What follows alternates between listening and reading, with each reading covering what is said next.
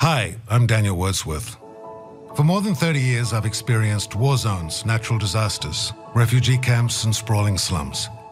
Now I'm going to show you a better and more optimistic world. This podcast is Finding Good. How are you, Daniel? Hi, Fitz. I'm good. Good. Thank you. Excellent. How you doing? Super. Thank you very much for listening to Finding Good. Please, if you could uh, go and rate the podcast in whether it's Apple or Spotify, it just it just helps us get discovered a little bit more, and that it's great to see more and more people enjoying the episodes each week. I wanted to talk about something today that you, you touched on briefly in the first season, uh, and we haven't really mentioned since, but it's China. Right. And when I think of the places you've been, it's always the, the South Americas or, you know, Central America or right. Africa. Mm-hmm. But you spent some time in China, right? Yeah. No, I lived there for two years. Right. What were you doing in China? The time that I lived there, I was trying to learn about a thing called social entrepreneurship. Okay, you're going to have to explain that. To me. You're going to have to explain that to me. So this happened around about the mid 2000s.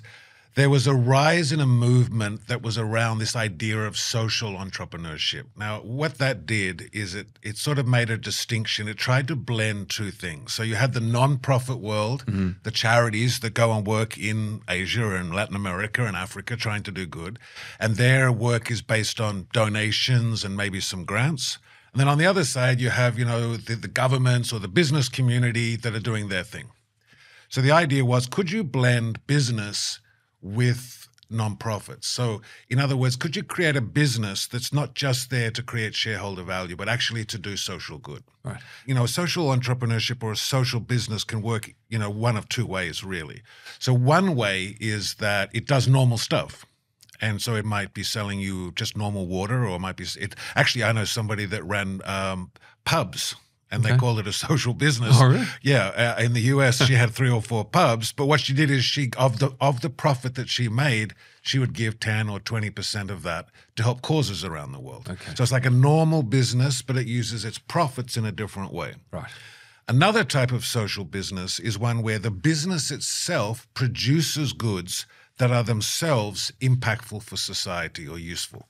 So I suppose you could look at micro power systems that work around the world where you go to a village and you have micro power systems where the community has to buy the micro power system but it's producing electricity which produces social change in the community. So this is this idea of social entrepreneurship.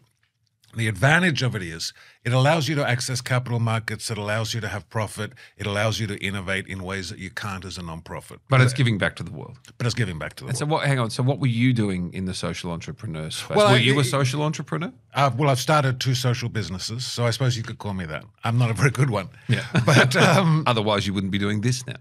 yeah, I still I, I still prefer the nonprofit way, and that's because I I want to help uh, empower everyday people to do good in the world. That's what I really like to do. That's what I think of as my calling. Yes. But in the mid 2000s, this was like a, a thing that was emerging. Like, how could we use entrepreneurship to do good? Hmm. And I thought this was like a new thing that was coming up, and I thought I wanted to learn it, I wanted to understand it, and to see how powerful it was. I need to understand what the businesses were. Okay. okay. well, actually, I've talked about two of them. Yep. So the, when we did the episode about Abraham, when we were talking about a silly that was going on inside of Congo, we charge for that water. Remember, we charge for that healthcare. Those are businesses, Right. And so people pay for the water and they pay for healthcare. The other one is Kuja Kuja. So where you know refugees rate that system, that is actually a business. Okay. It's been set up like a business. But neither of those came out of China. no. So, what, what were your social entrepreneur businesses in China? Well, at the time, it was the mid 2000s, and people were all talking about social entre- entrepreneurship. And I thought, well, I, I want to learn this. yes. So I want to like do an MBA of entrepreneurship. But then I thought, I don't want to learn this from like social entrepreneurs. I thought I want to learn this from hardcore entrepreneurs and then apply it in the social context. And so then at the time, I sat there and I thought, where are the world's hardcore entrepreneurs? Hmm. And at that time, it was three basic places. It was Silicon Valley in the US. Mm-hmm. It was actually in Israel. But the third one was Shanghai, China. I mean, China's had entrepreneurship for, I don't know, since its beginning. And so I reached out to my networks, my own networks and relationships to find someone who would give me a job to be an entrepreneur with them for a couple of years. And the person I found was an old family friend who was launching businesses. He's an entrepreneur himself. He was based in Hong Kong. He wanted to go into China mainland and he wanted to um, do entrepreneurial things inside China. And I went with him and uh, launched five businesses inside China based out of Shanghai. Can you tell me what they were? So one of those was electric motor scooters. So at the time, this was before Tesla and everything else. At the time, China had uh, the most advanced technology on electrification of vehicles. And in particular, they had electric motorbikes. So in China, almost all the motorcycles were electric, not petrol powered. So we linked with an entrepreneur in Europe who wanted to take Chinese electric motor scooters and launch them inside Europe. And then we were the guys based in China that built the electric motor scooters. Right. So we would build the scooters, do all the manufacturing, and then the guy in Europe would take them and sell them inside of um, Europe. So one was an, this electric motor scooters. Another one was actually a surf company called Rhythm. And they were a really like cool surf company based Not a lot out of of surfing happening in China, I would no, no, but there's a lot of making of hoodies and trunks and t-shirts and things like that. So this group was a was a sort of super cool Australian brand.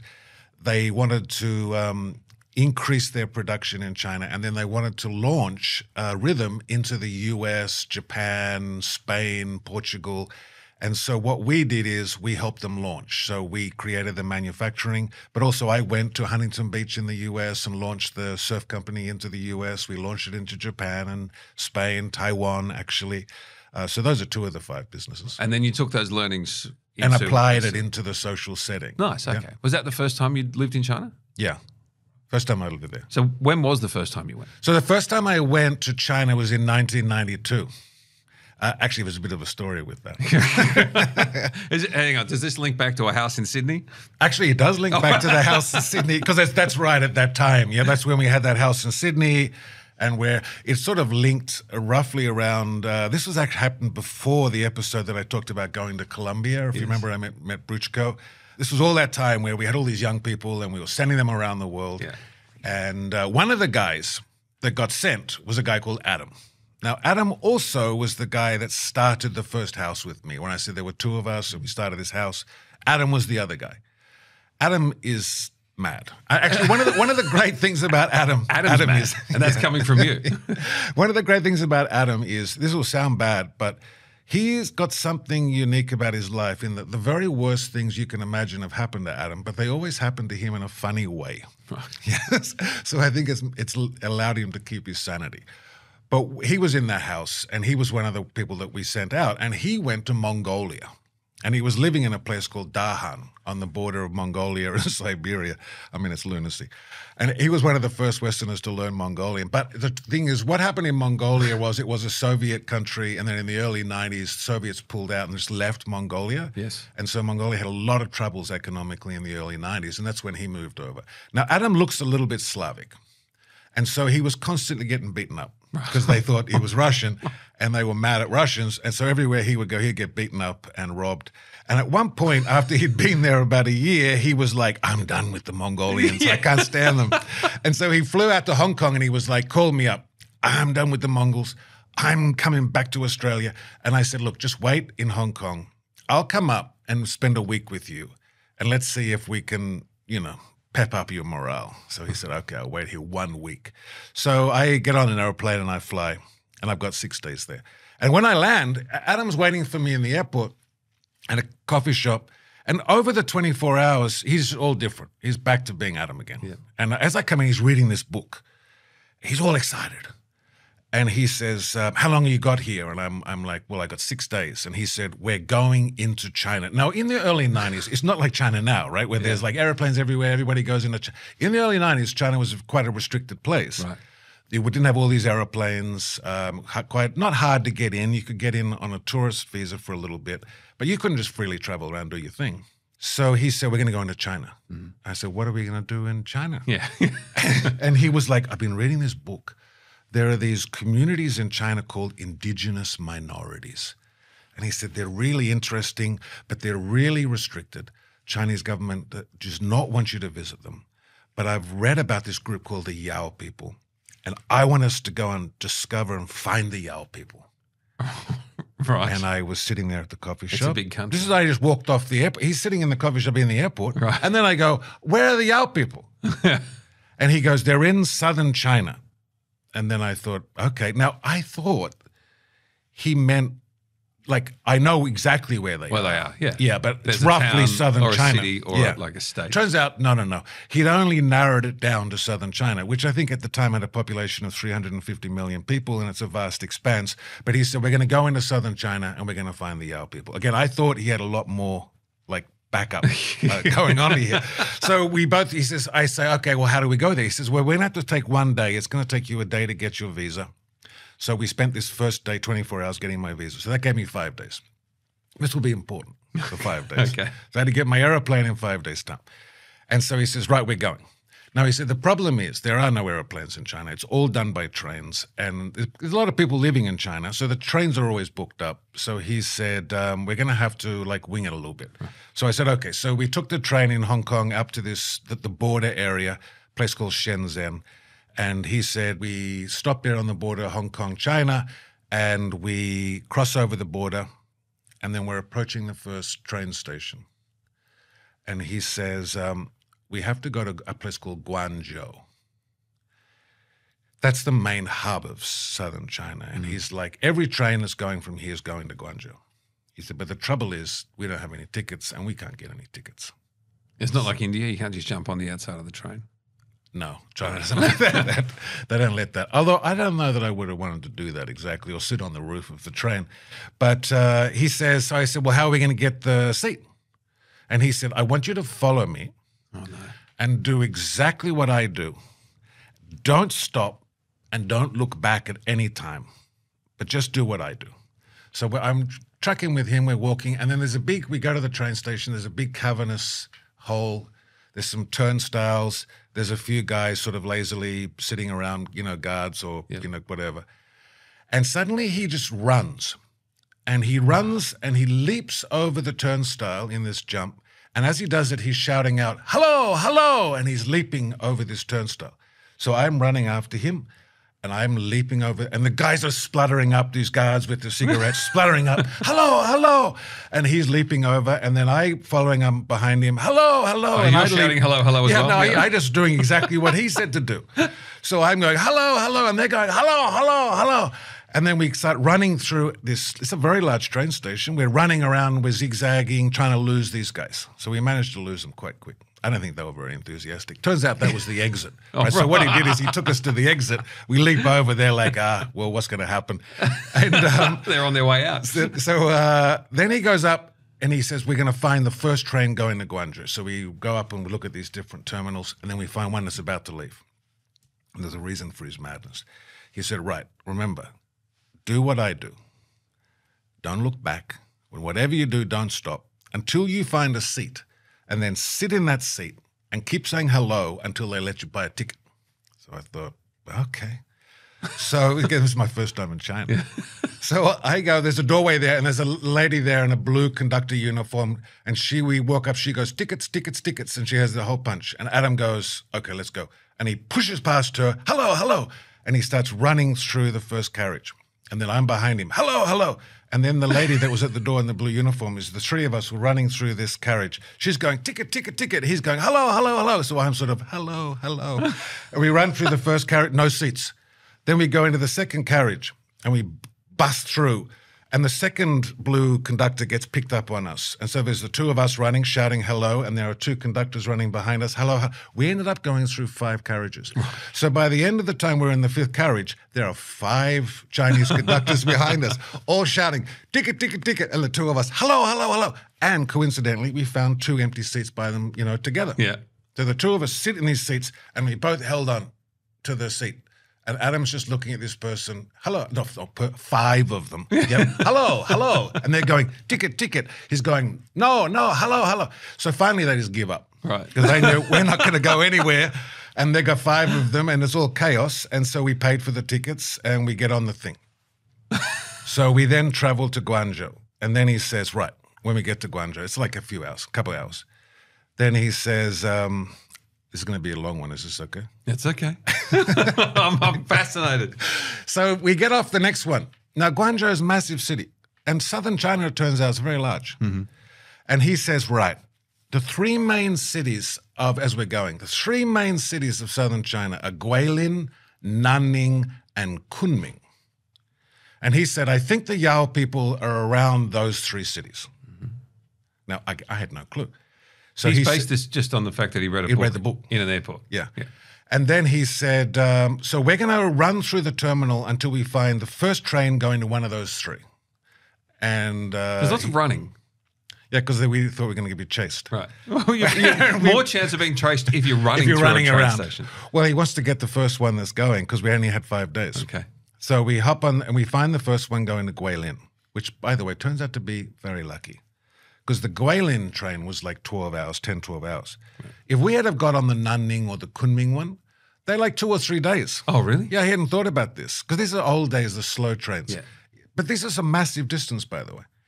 Purely coincidentally, we didn't get ourselves into a disastrous situation, but we got the Guilin one. So we did the same, he said, same routine. Oh, we don't have tickets. Uh, we're going to do it again, run on. I'm like, goodness. And But luckily that time it was only the first carriage. We found two, because a sleeper train, we found two beds. We both lay in the beds holding onto the hand, and then the lady, the conductor, ticket, ticket. But anyway, she let us by. So we got on that first Guilin. And then as the train pulls out, he says, um, well, that's the easy part finished. So, so we go down to Guilin and we hop off the train in Guilin and he's like, now we need to find the Yao people. And then I said, do you have any any ideas on this? no, no, but how hard can it be? So we walk out of the train carriage and there's a guy there, young guy, in this green suit. He has this red Dunhill tie. He's really slick. He comes up. Hey, great to see you. This real American accent. great to see you. How can I help you? And we were like, um, You speak English? Yes, of course, I speak English. And then we said, um, Okay, we want to find the Yao people. And he's like, Oh, really? Yes, the Yao people. And uh, he said, Do you have the special permissions? And we were like, No. He goes, Well, you, you need special permissions to visit the indigenous minorities. Do you, you don't have any of those? No. And then he goes, Oh, that's a real problem. You have to avoid, and Adam's been saying this, we must at all costs avoid Chinese communist officials because this is illegal. So Adam's like, Yes, we must avoid the Chinese communist officials. So you have to tell us a way to get there where we never have to run into the Chinese communist officials oh, because they will, you know, do something. Yeah. And so we were like, okay, well, how do you do that? And he goes, well, you need to take a bus to a place called Lomshen. From Lomshen, you need to take another small bus to a place called Ailing. And it's only a short trip, 15, 20 minutes from Lomshen to Ailing, short trip. And then thirdly, when you're in Ailing, you need to ask, point me the direction, where are the Yao people? And we said, Will anyone speak English on there? He said, No one will speak any English. So I, we said, Okay. So we pulled out a notepad and we said, Write three sentences for us in Chinese. Sentence number one Two bus tickets to Lomshen, please. Sentence number two Two bus tickets to Ailing, please. Sentence number three point the direction to the Yao people in Chinese. So he writes these things out, three things in Chinese. You didn't think to ask for like a bed or, you know, No, where, we didn't. no, we didn't. where can we stay? That was the only three sentences we got. And you may have figured out by now, I'm not big on advanced thinking. No. So, and Adam is yeah. even much worse than me. So I learned all that I know from Adam. So the three had this notepad, and we go. He takes us to the bus. It turns out he was the loveliest person in the whole universe because he just took us to the bus station, helped us out, shook our hands. So we we hand over the you know the notepad and we point to the sentence, two bus tickets to Lomshen.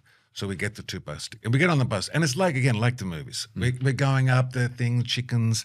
We're going right up these mountains. Takes hours and hours, but it's the most gorgeous mountainous southern China. Fantastic trip. And but right at the end of right at the end of the day, we arrive. Right on dusk. Mm-hmm.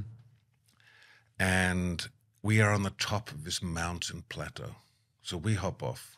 And we're in this sort of dusty bus station and there are families all around us like camped out in this bus station families everywhere some of them like cooking all this stuff and we're looking out the windows of this bus station and it's like this plateau of mountains and we realize we're a long way from anywhere and i turn to adam and say thank goodness you have that notepad and he says what do you mean I've got the notepad. Oh, no. You've got the notepad. and I said, I don't have the notepad. You handed the notepad to the. And then we both realized we'd left the notepad with the ticket lady. And then we thought, well, what was the name of the other place? And then we knew it ended with Ling, but we couldn't remember the first bit. Mm-hmm. So we both stood in the middle of his bus terminal and we started shouting out variants on the name Ling. now, Chinese is a tonal language, so this is a very like this got in Mandarin. There's like six tones for every word. So the Ling, we weren't even getting the tone right, but we had like six versions of just the Ling. but we stood there in the middle of the room and we start going, Bing Ling and then we pause and look around at everybody, and everybody's there. And we're going, dingling, pause, shingling, kingling, mingling. We're shouting this all out. And so by now, everybody's gathering around us. All these people are gathered around us as we're doing these random links. mingling, dingling, shingling, looking. And every time we would say, we would look to see if anyone acknowledged anything. And then finally, one of us said, ailing and around the whole the group, oh, it's ailing, ailing, ailing, and there was a murmur. So we thought that must be it. Yeah, it's ailing. So then we would like did that gesture, you know, with your hands up like the W. Where's ailing? And they all point out the door, the certain direction. So off we go. We walk down the street and we get to the next corner and there's a person standing and we go ailing, and they point, and then we go to the next one ailing. Now we thought they were pointing to a bus station. Because remember, we had to go on a bus that was for this 20 minute drive to Ailing. We thought they would know what we meant by that and that they would assume that we needed the bus. And so we thought they're pointing us because the bus that we were at was a terminal bus station we yeah. had to go to. We thought a local bus station. And so we're walking through the town, every stop, Ailing, Ailing, everyone keeps pointing. And then we get to the edge of the town. Right when sun, the sun is setting, we're on the edge of Lomshen. And then we realize they're just pointing vaguely in the direction of the road to Ailing. and right on the edge of the town, we were thinking, well, this is a problem because it's getting dark and we're in this mountainous town and we don't even know that Ailing's the right name for the place. And then we're standing there, and then Adam thinks, okay, I'll, I'll sort this out. And we see this white Toyota Land Cruiser driving toward us coming into town. And Adam says, remember, do what I do. Oh. Just say hello Don't hesitate. So this white Land Cruiser is driving toward us, and just when it gets near us, Adam jumps in front of the Land Cruiser and waves it down. And the guy pulls up, and then Adam runs to the back door of the Land Cruiser, opens it, throws his duffel bag in, and leaps into the back seat of the Land Cruiser. And then I throw my duffel bag in, and I leap into the back seat of the Land Cruiser and the two of us are sitting on the back seat of this Land Cruiser, and this poor guy in the front has got his hand over the thing, and he's looking back at us like, "What just happened?" and the two of us are grinning, and we're going, "Ailing, Ailing," and he's looking at us, "Ailing, okay?" Because remember, we thought it was only 15, 20 minutes yeah. away, and we were really stuck. And he's looking, and we're sitting there, we're grinning like fools, ailing, and he's just looking at us. And then after a couple of minutes, he puts the car in a gear and drives into town. And then we pull up in front of this restaurant, and he hops out with two of his mates, and they're sitting at this table. And we're sitting in the back seat with the window. We're not going to get out because then we are afraid he's going to take off. So we're gazing at them through the window. They're all eating slowly, and then they're talking to each other. Then they would all pause and then look at us like lunatics, and then go back, and then and we're going ailing, ailing, doing thumbs up, ailing, ailing, and they and then finally two of them get up, hop in the four wheel drive, and we start going. By now it's like 8 o'clock, 7.30, 8 o'clock at night. And uh, we're driving along, and 15 minutes goes by, no ailing. We're going further and further. 20 minutes, an hour goes by, two hours goes oh, by. No. And then we're at like two and a half, three hours. And then we both turn to each other and we're like, what does ailing mean? Oh. like we didn't even get, it's not even the name of the right place because we were only meant to be there in 15 minutes. What's Ailing? And every time we would come to a village or a little town, because it's getting deep, deep, deep into the mountains, every time we would come to a village or a little town, Adam and I would go, Ailing, with like a questioning Ailing. and the two guys in the front would look at one another, and the driver would go, Ailing. And the other guy would laugh, as if this is crazy that you think this is Ailing. Every time we'd come to a town, Ailing, Ailing, the gales of laughter. So we drive for like four hours we come down into this dark, dark valley, and it is pitch black. And we see in the headlights this little bridge, and the guy pulls over and stops, and he turns off the Toyota, and we're sitting in absolute pitch darkness. And he looks at us and says, Ailing. so the two of us get out. We get out of this car, and he drives off. Uh, and then we're standing there In the middle of the night. In the middle of the night, in absolute pitch darkness. And Adam just says, Well, at least we're in no danger of running into Chinese communist officials. and so we, we stand there until our eyes get used to the light. And we notice this gate, chain link fence, and this little gate. And so we walk through this gate and we walk along this little path. And then there's like a little wooden sentry box, like a little shed. And it has a crack of light around the door. So we go to the door and we knock on the door. And there's a guy opens it, a real old sort of guy in a uniform opens it. And we look at him and go, Ailing. And he points to a side door. And he nods, Ailing. So we walk through. We go along this path through this mountains around this edge of this hill, and we opens up into this big expanse lit at night with all of these steaming baths. oh wow.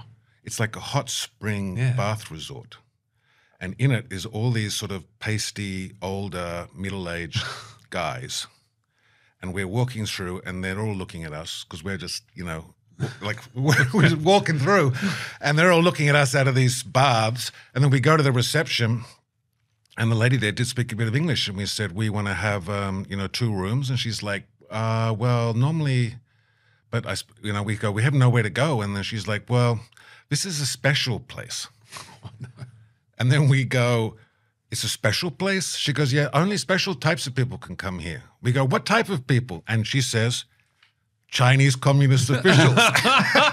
so we have been on this journey to escape them, and we've gone to a retreat where only Chinese communist officials are allowed. And so we look out the window, and there are all these Chinese communist officials gazing at us through the window in these uh, ponds. But anyway, we were committed at that stage, so we were like, "Well, can, you got to give us a room. We can't go anywhere." And they gave us a room. And then the next morning, we and they, these two guys didn't care.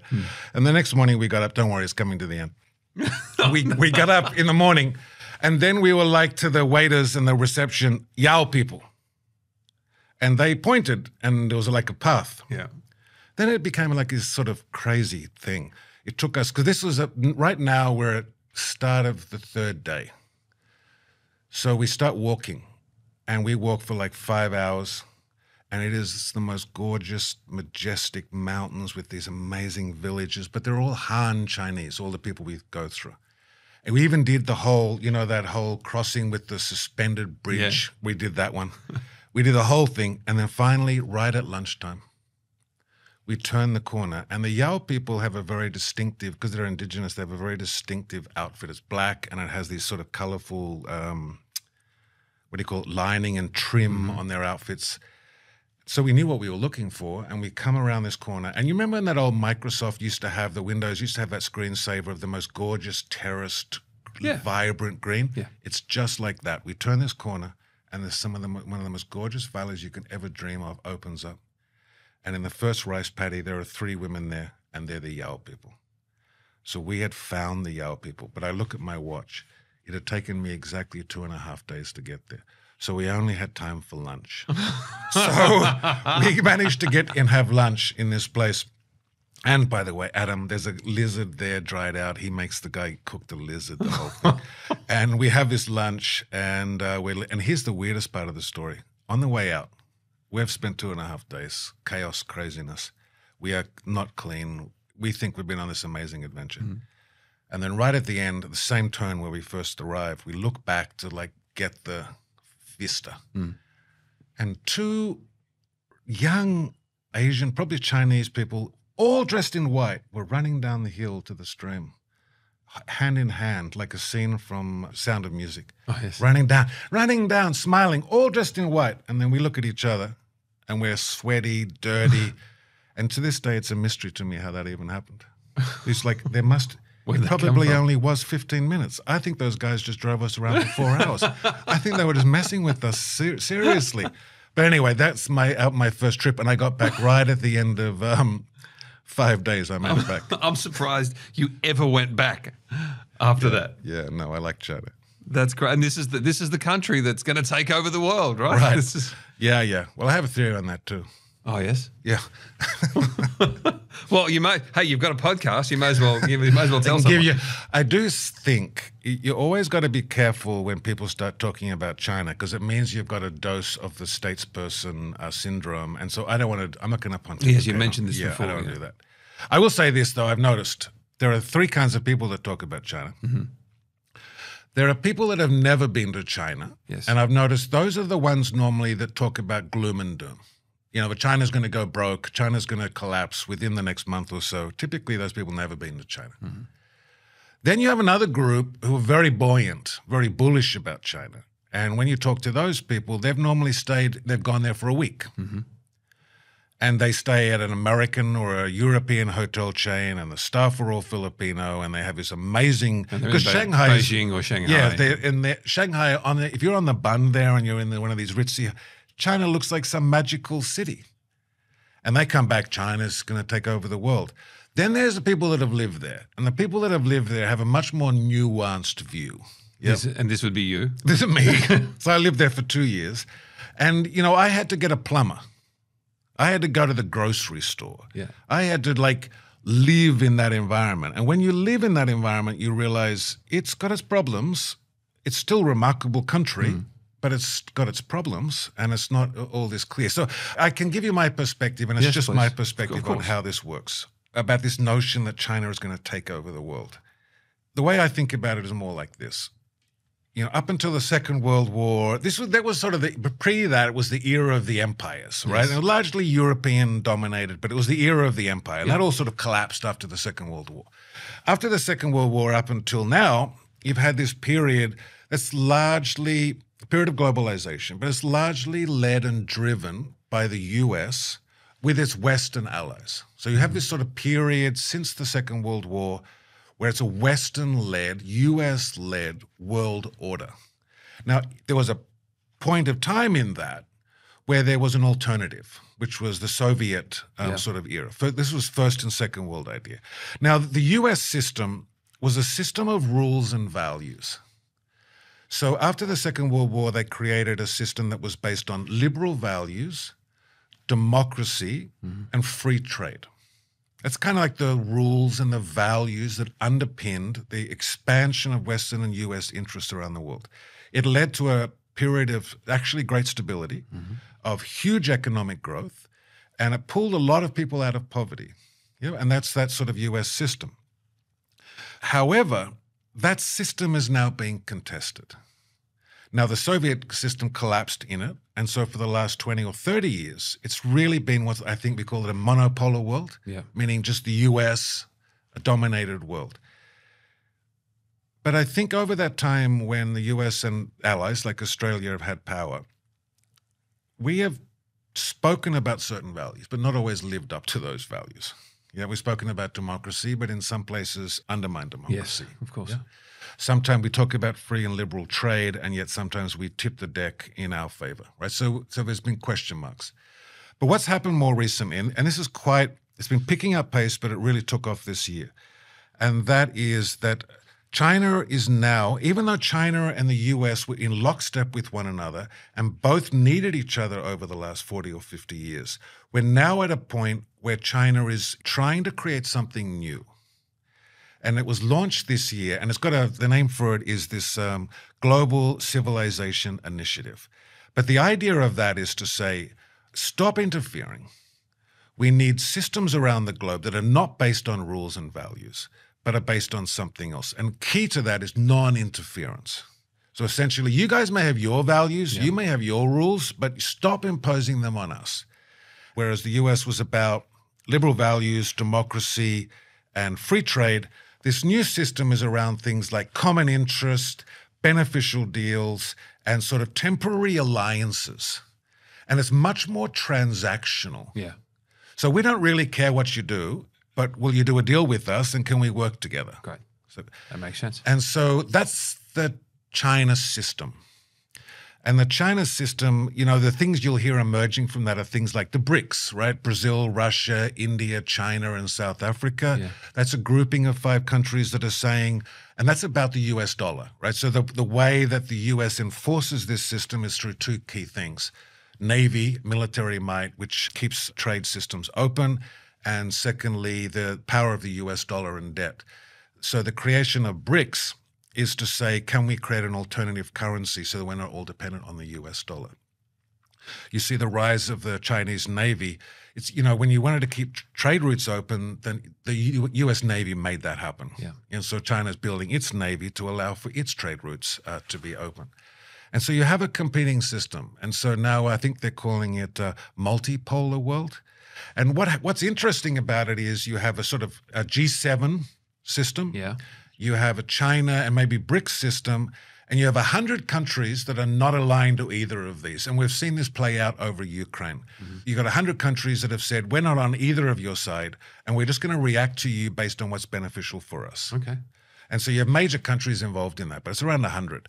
And so this is probably how things will play out over the next, you know, generation or two. So the need for diplomacy is is increasing.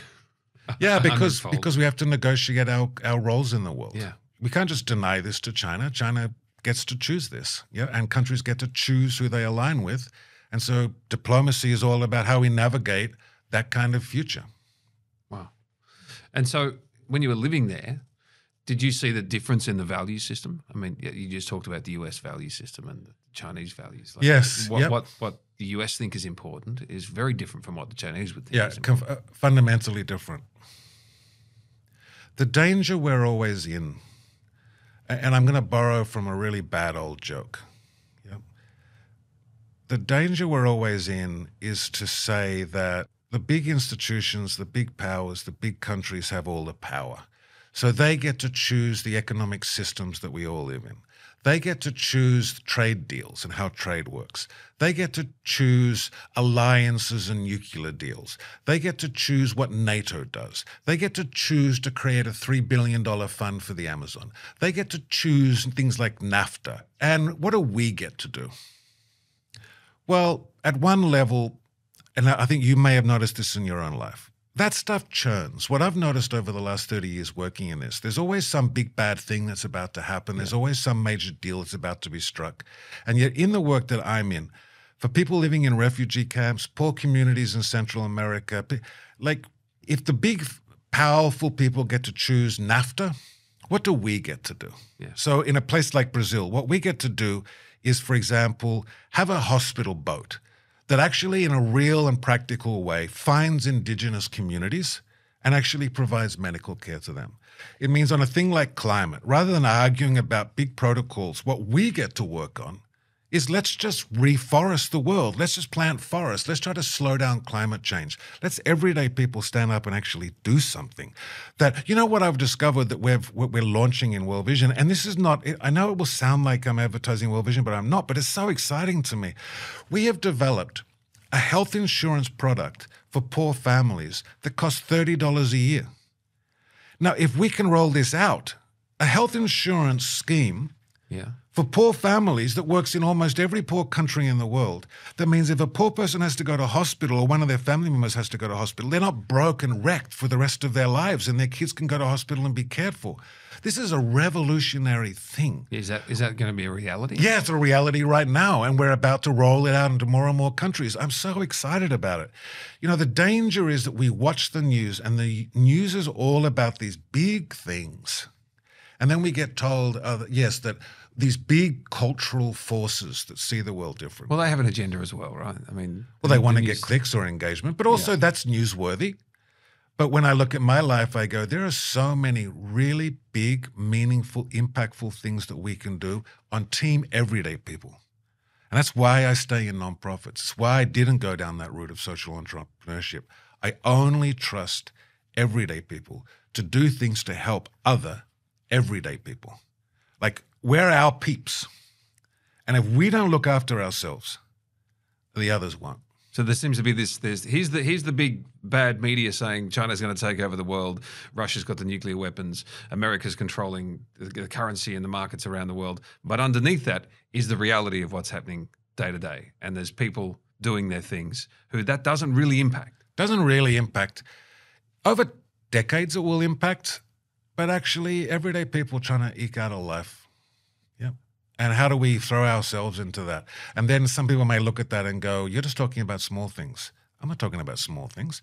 I'm talking about reforesting 1 billion hectares of forest. I'm talking about giving every poor person on earth health insurance. There are a lot of big things that we can do. Yeah. So the upshot from this, for me, is that if you're going to China, take a phrase book, and Or get it tattooed on your forehead. get a tattoo, and uh, and if you need to get on a train in China, jump the barriers. I wouldn't try that. Hello, I- hello. I, wouldn't try that now. I wouldn't try that now. But if you get a chance to travel with Adam, you really should. no, And you know what? You, you know what No. Adam? And you know what Adam does today? He's a tour guide. No, he's a skipper of the Sydney Harbour ferries. Is he really? Yeah. I look every day in the newspaper looking for Sydney Harbour ferry crashed into, you know, whatever, shipwrecked. And I'm expecting to see Adam's You're name there. expecting that to but be it's him. been a while now and it's not happened.